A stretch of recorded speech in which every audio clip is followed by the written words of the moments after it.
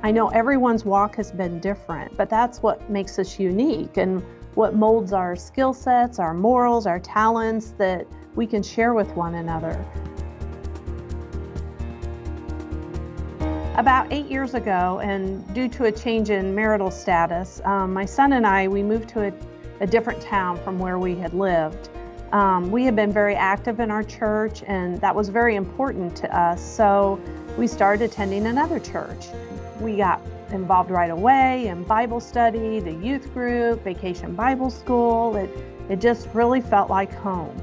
But one Sunday prior to the service, uh, the pastor pulled me aside and told me that my son would not be able to take communion anymore uh, because he was gay.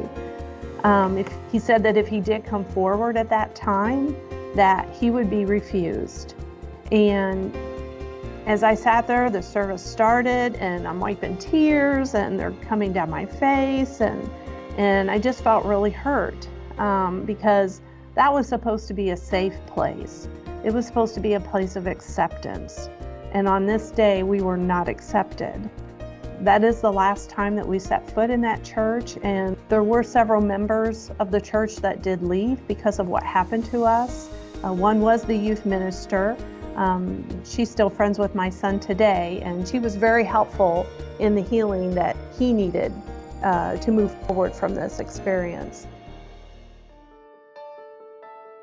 My son, he is a very driven person. He's a hard worker.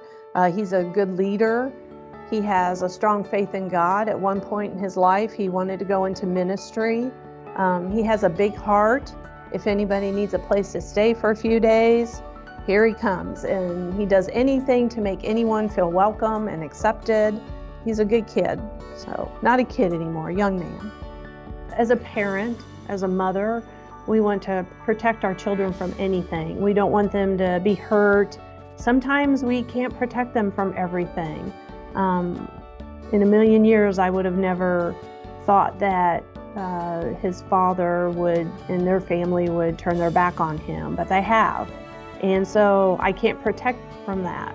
But what I can do is teach him how to react to that, how to be uh, still be respectful, uh, continue to be yourself. Don't let what other people do or, you know, words that people say, don't let that have an influence on who you are and who you want to be. Um, you should be able to be yourself, and, and there's a lot of people out there that will love you for being yourself. They love you for just who you are. Since this happened about eight years ago, um, I have remarried and we have blended two diverse families together. He has always called my son um, his bonus son, and that's been pivotal for my son's healing on every level. And they just, people who go through situations like this are made to feel like they've done something wrong, and that couldn't be further from the truth. No one should ever feel that way for being themselves.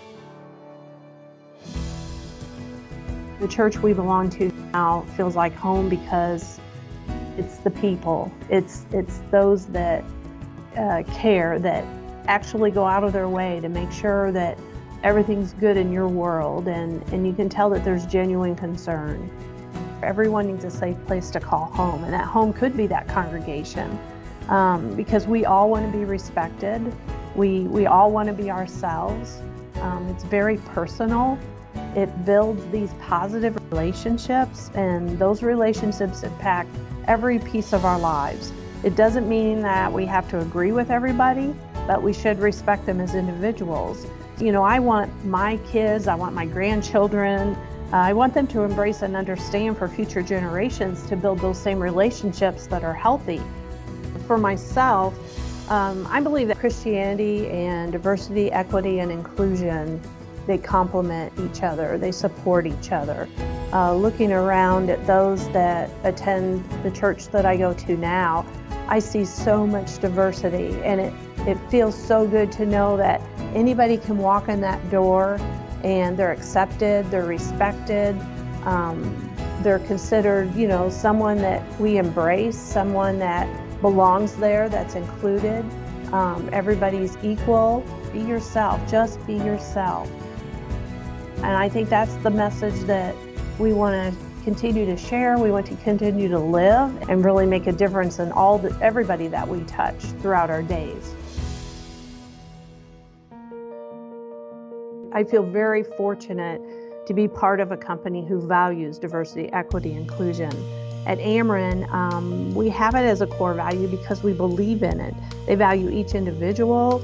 They believe that our differences make us a stronger company, and they know that it takes courage to make that a reality. So, part of my job is conducting onboarding sessions with new employees. And I know that I can make a difference from that day one. We can share the importance of this value and we can make every person feel welcome and we can set that tone for what we believe in here as a company. And I think if we can do that for every employee coming in, that eventually, you know, it's it's going to make a difference from that very beginning. 2020 has been quite a year and a lot of it's negative. There's so much going on. But as far as, you know, a lot of the things that have happened in the world today have push diversity, equity, inclusion to the forefront. And you know, maybe there's a reason for that. Maybe it's it's out there for a reason because it, it's that important. It needs to be addressed. It, we need to have those conversations. Is it easy? No, it's not easy, but it, it can be done and it can be done respectfully. And that's that's key. Uh, the key is to have compassion when you ha- have those conversations. You know, we all have the courage to have those conversations. It's just knowing how to approach and how to address, and also on the other side, to be open to any questions. Uh, people are curious, they want to know more, and we should appreciate that people are taking the time to want to know more about us as, as who we are, or as individuals, or what we're thinking.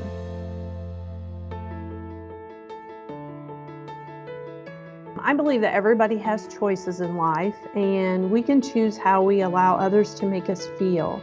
But being aware of others and being open to those conversations, uh, listening to others, being a shadow of a leader who cares and has compassion and respect for others. Um, but we should also continue to grow and learn and develop our skills and just embrace life to be ourselves. For my son, the lessons that he has learned, um, he's learned to let some things go. That everyone is entitled to their opinion, but that doesn't mean that it has to have a negative impact on who we are. He's true to himself, and that helps him be a better leader and to care for others.